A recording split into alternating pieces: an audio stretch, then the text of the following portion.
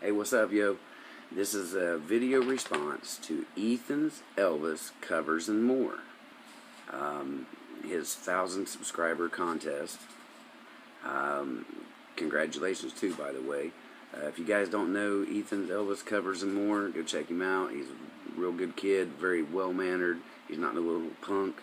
Uh, I like the hell out of him. He's real good. Got some real nice cards, too.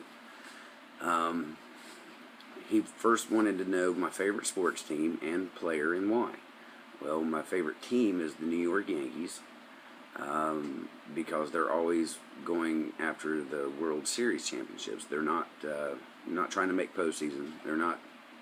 The goal was not trying to make postseason or win their division. They want the World Series.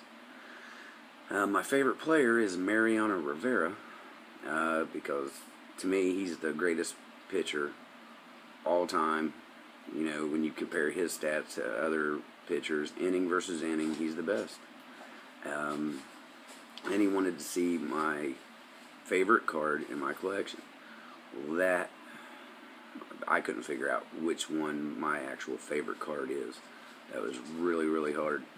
But um, I have to go with the T206 Willie Keeler.